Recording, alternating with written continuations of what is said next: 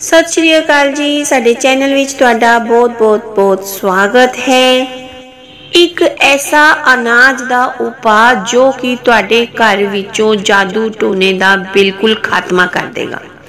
ਸਭ ਤੋਂ ਪਹਿਲੇ ਤਾਂ ਮੈਂ ਤੁਹਾਨੂੰ ਦੱਸ ਦੇਵਾਂ ਕਿ ਜਾਦੂ ਟੋਨਾ ਆਖੀਕਰ ਕੀ ਚੀਜ਼ ਹੈ, ਕੀ ਬਲਾ ਹੈ। ਉਹ ਅਸਲ ਵਿੱਚ 네ਗੇਟਿਵ એનર્ਜੀ ਹੀ ਹੈ। 네ਗੇਟਿਵ એનર્ਜੀ ਹੀ ਜਾਦੂ ਟੋਣਾ ਹੈ, ਉਹ ਹੀ ਉਸ ਨੂੰ ਜਾਂ ਫਿਰ ਟੋਟਕਾ ਵੀ ਕਹਿ ਸਕਦੇ ਹਾਂ, ਜਾਦੂ ਟੋਣਾ, ਟੋਟਕਾ, ਕਾਲਾ ਜਾਦੂ, ਇਹ ਸਭ ਕਿਹਾ ਜਾਂਦਾ ਹੈ।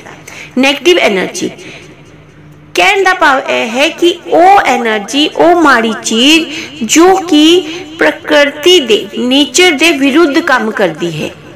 ਉਸ ਨੂੰ ਭੂਤ ਪ੍ਰੇਤ, ਜਾਦੂ ਟੋਣਾ, ਕਾਲਾ ਜਾਦੂ 네ਗੇਟਿਵ એનર્ਜੀ ਕਿਹਾ ਜਾਂਦਾ ਹੈ। ਤੇ ਜਿਸ ਵੇਲੇ ਵੀ ਕੋਈ ਵੀ ਚੀਜ਼ ਹੋਵੇ ਜੋ ਨੇਚਰ ਦੇ ਵਿਰੁੱਧ ਕੰਮ ਕਰੇਗੀ, ਉਹਦੇ ਆਪੋਜ਼ਿਟ ਕੰਮ ਕਰੇਗੀ, ਤਾਂ ਉਹ ਤਾਂ ਗਲਤੀ ਕੰਮ ਹੋਏਗਾ ਨਾ। ਤੇ ਜੇਕਰ ਉਹ ਚੀਜ਼ਾਂ ਸਾਡੇ ਘਰ ਵਿੱਚ ਹੈਗੀਆਂ ਨੇ ਤੇ ਉਹ ਜਦੋਂ ਨੇਚਰ ਦੇ ਵਿਰੁੱਧ ਕੰਮ ਕਰਨਗੀਆਂ, ਤਾਂ ਸਾਡੇ ਘਰ ਵਿੱਚ ਕੀ ਹੋਏਗਾ, ਕੀ ਕੀ ਪਰੇਸ਼ਾਨੀਆਂ ਆਣਗੀਆਂ ਤੁਸੀਂ ਅੰਦਾਜ਼ਾ ਲਗਾ ਸਕਦੇ ਹੋ।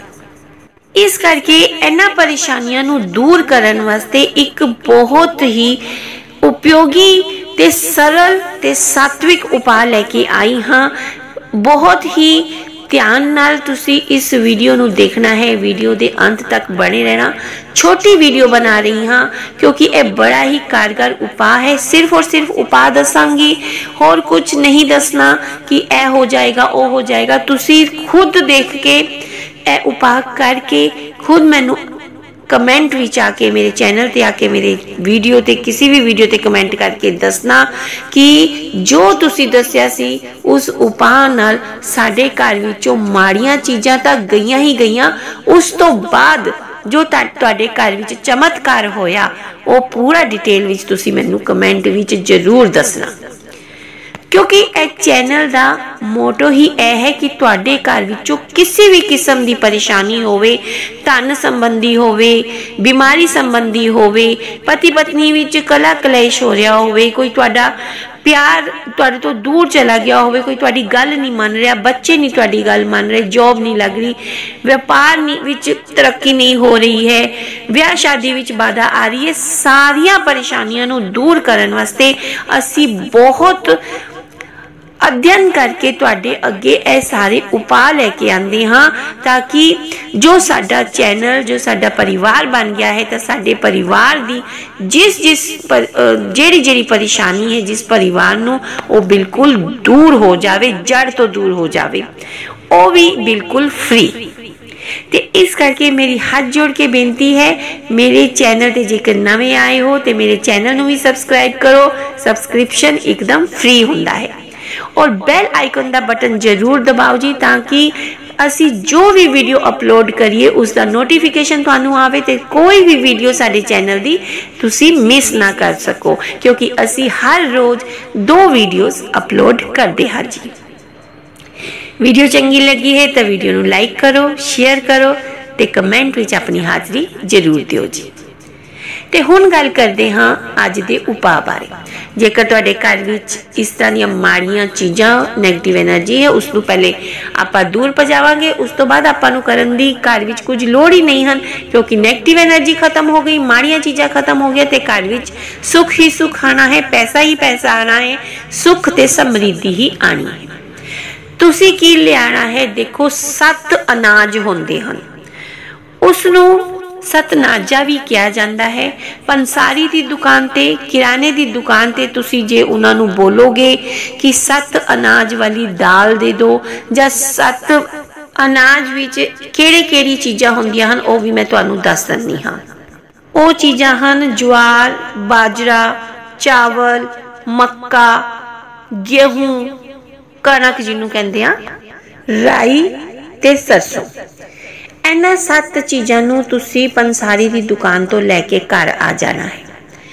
ਘਰ ਲਿਆਉਣ ਤੋਂ ਬਾਅਦ, ਠੀਕ ਹੈ ਉਸ ਨੂੰ ਤੁਸੀਂ ਇੱਕ ਚਿੱਟਾ ਕਪੜਾ ਲੈਣਾ ਹੈ, ਉਸ ਦੇ ਵਿੱਚ ਦੋ ਮੁਠੀਆਂ ਭਰ ਕੇ ਇਹ ਜੋ ਸੱਤ ਅਨਾਜ ਜੋ ਲਿਆਏ ਹੋ ਉਸ ਨੂੰ ਤੁਸੀਂ ਉਹਦੇ ਚਿੱਟੇ ਕਪੜੇ ਵਿੱਚ ਪਾ ਦੇਣਾ ਹੈ ਤੇ ਉਸ ਨੂੰ ਗੱਠ ਲਗਾ ਦੇਣੀ ਹੈ।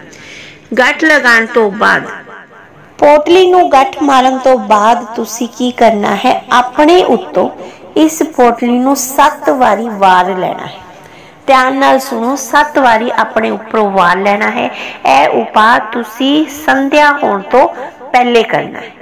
ਠੀਕ ਹੈ? 7 ਵਾਰੀ ਜਦੋਂ ਤੁਸੀਂ ਆਪਣੇ ਉੱਤੋਂ ਵਾਰ ਲਿਆ, ਉਸ ਤੋਂ ਬਾਅਦ ਤੁਸੀਂ ਇਹ ਵਾਲੀ ਪੋਟਲੀ ਜਾ ਕੇ ਜਿੱਥੇ ਤੁਹਾਡਾ ਪਾਠ ਪੂਜਾ ਕਰਨ ਵਾਲਾ ਸਥਾਨ ਹੈ, ਉੱਥੇ ਜਾ ਕੇ ਰੱਖ ਦੇਣੀ। ਠੀਕ ਹੈ? ਉੱਥੇ ਕਮ ਸੇ ਕਮ ਇਸ ਨੂੰ 1 ਤੋਂ 2 ਘੰਟਾ ਇਹ ਪੋਟਲੀ ਉਸ ਪਾਠ ਪੂਜਾ ਵਾਲੇ ਸਥਾਨ ਤੇ ਪਈ ਰਹਿਣ ਦੇਣੀ ਹੈ। ਉਸ ਤੋਂ ਬਾਅਦ ਸ਼ੁਰੂ ਹੋਏਗਾ ਤੁਹਾਡਾ ਮੇਨ ਕੰਮ। ਇਸ ਪੋਟਲੀ ਨੂੰ ਉਠਾ ਕੇ ਲਿਆਣਾ ਹੈ ਉਧਰੋਂ ਦੀ ਤੇ ਉਸ ਗੱਠ ਨੂੰ ਖੋਲਣਾ ਹੈ। ਇਸ ਗੱਠ ਨੂੰ ਤੁਸੀਂ ਖੋਲ ਕੇ ਇਹ ਜਿਹੜੀ ਦਾਲ ਹੈ ਸਤ ਅਨਾਜ ਵਾਲੀ ਦਾਲ, ਉਸ ਨੂੰ ਸੱਤ ਜਗ੍ਹਾ ਤੇ ਤੁਸੀਂ ਉਸ ਦਾਲ ਨੂੰ ਡਿਸਪੋਜ਼ ਕਰਨਾ ਹੈ। ਠੀਕ ਹੈ? ਸਭ ਤੋਂ ਪਹਿਲੇ ਤਾਂ ਤੁਸੀਂ ਚਲੇ ਜਾਣਾ ਹੈ ਆਪਣੇ ਘਰ ਦੀ ਛੱਤ ਦੇ ਉੱਤੇ। ਉੱਤੇ ਜਾ ਕੇ ਜੋ ਤੁਸੀਂ ਥੋੜੀ ਜੀ ਹੱਥ ਵਿੱਚ ਦਾਣੇ ਲੈ ਕੇ ਆਪਣੀ ਛੱਤ ਦੇ ਉੱਤੇ ਪੰਛੀਆਂ ਨੂੰ ਪਾ ਦੇਣੀ ਇੱਕ ਕੰਮ ਹੋ ਗਿਆ। ਫਿਰ ਦੂਸਰਾ ਕਰਨਾ ਹੈ ਪਿੱਪਲ ਦੇ ਪੇੜ ਤੇ ਜਾ ਕੇ ਥੋੜੀ ਜੀ ਦਾਲ ਇਸ ਤਰ੍ਹਾਂ ਸੁੱਟ ਦੇਣੀ ਹੈ। ਤੀਸਰੀ, ਬਰਗਦ ਦੇ ਪੇੜ ਤੇ ਜਾ ਕੇ ਵੀ ਇਸ ਦਾਲ ਨੂੰ ਫੈਲਾ ਕੇ ਥੋੜਾ ਜਿਹਾ ਰੱਖ ਦੇਣਾ ਹੈ। ਚੌਥਾ ਤੁਸੀਂ ਜਿੱਥੇ ਵੀ ਜਿਸ ਤਰ੍ਹਾਂ ਹੁੰਦੇ ਨਾ ਕੀੜੀਆਂ ਹੁੰਦੀਆਂ, ਕੀੜੇ ਮਕੋੜੇ ਜਿਹੜੇ ਤੁਹਾਨੂੰ ਕਿਧਰੇ ਵੀ ਖੂਹ ਦੇ ਕੋਲ ਹੁੰਦੇ ਹਨ ਨਾ, ਉੱਥੇ ਜਾ ਕੇ ਇਹ ਦਾਲ ਪਾ ਦੇਣੀ ਪੰਜਵਾਂ ਤੁਸੀਂ ਕਿਸੇ ਵੀ ਜਿੱਥੇ ਮਿੱਟੀ ਹੋਵੇ ਉਸ ਨੂੰ ਥੋੜਾ ਜਿਹਾ ਖੋਦ ਕੇ ਇਸ ਨੂੰ ਇਹ ਦਾਲ ਨੂੰ ਥੋੜਾ ਜਿਹਾ ਉੱਥੇ ਦਬਾ ਦੇਣਾ ਹੈ। ਛੇਵਾਂ ਜਗ੍ਹਾ ਤੇ ਕਿਧਰੇ ਵੀ ਕੋਈ ਗਾਂ ਜਾਂ ਮੱਝ ਤੁਹਾਨੂੰ ਨਜ਼ਰ ਆਉਂਦੀ ਹੈ ਥੋੜੀ ਜਿਹੀ ਦਾਲ ਉੱਥੇ ਉਸ ਨੂੰ ਖਿਲਾ ਦੇਣੀ ਹੈ। ਸਤਵਾਂ ਤੇ ਆਖਰੀ ਜਿੱਥੇ ਇਸ ਦਾਲ ਨੂੰ ਤੁਸੀਂ ਡਿਸਪੋਜ਼ ਕਰਨਾ ਹੈ, ਉਹ ਹੈ ਕਿ ਜਿੰਨੀ ਦਾਲ ਹੁਣ ਬੱਚੀ ਹੈ, ਉਸ ਦਾਲ ਨੂੰ ਤੁਸੀਂ ਕਿਸੇ ਪਲੇਟ ਵਿੱਚ ਪਾ ਕੇ, ਉਹਦੇ ਵਿੱਚ ਥੋੜਾ ਜਿਹਾ ਕਪੂਰ ਪਾ ਕੇ ਉਸ ਦਾਲ ਨੂੰ ਜਲਾ ਦੇਣਾ ਹੈ। ਤੇ ਇਹ ਸੱਤ ਜਗ੍ਹਾ ਤੇ ਤੁਸੀਂ ਇਸ ਆਪਣੀ ਜੋ ਸੱਤ ਅਨਾਜ ਵਾਲੀ ਅਸੀਂ ਦਾਲ ਲੈ ਕੇ ਆਏ ਹਾਂ, ਇਸ ਐਸੀ ਸੱਤ ਜਗ੍ਹਾ ਤੇ ਤੁਸੀਂ ਉਸ ਨੂੰ ਖਤਮ ਕਰਨਾ ਹੈ, ਫੈਂਕ ਦੇਣਾ ਹੈ, ਸੁੱਟ ਦੇਣਾ। ਤੇ ਤੁਸੀਂ ਦੇਖਣਾ ਤੁਹਾਡੇ ਦੁਸ਼ਮਣਾਂ ਨੇ ਜੋ ਤੁਹਾਡੇ ਉੱਤੇ ਰੋਕ ਲਗਾਈ ਹੋਈ ਹੈ, ਜੋ ਨੈਗੇਟਿਵ એનર્ਜੀ ਤੁਹਾਡੇ ਘਰ ਵਿੱਚ ਭੇਜੀ ਹੋਈ ਹੈ ਜਾਂ ਖੁਦ ਤੁਸੀਂ ਨੈਗੇਟਿਵ એનર્ਜੀ ਲੈ ਕੇ ਆ ਗਏ ਹੋ, ਮਾੜੀਆਂ ਚੀਜ਼ਾਂ ਲੈ ਕੇ ਆਏ ਹੋ, ਐਸਾ ਉਹ ਖਤਮ ਹੋਏਗੀ, ਛੂ ਮੰਤਰ ਫੁੱਲ ਕਰਕੇ ਉੱਡ ਜਾਏਗੀ ਕਿ ਤੁਹਾਨੂੰ ਪਤਾ ਹੀ ਨਹੀਂ ਚੱਲੇਗਾ ਕਿ ਇਹ ਕੀ ਚਮਤਕਾਰ ਹੋ ਗਿਆ। ਬੜਾ ਹੀ ਕਾਰਗਰ ਉਪਾਅ ਹੈ, ਸਾਤਵਿਕ ਉਪਾਅ ਹੈ, ਕਰਕੇ ਦੇਖੋ, ਜੇਕਰ ਆਪਣੇ ਘਰ ਵਿੱਚ ਖੁਸ਼ੀਆਂ ਲਿਆਣਾ ਚਾਹੁੰਦੇ ਹੋ।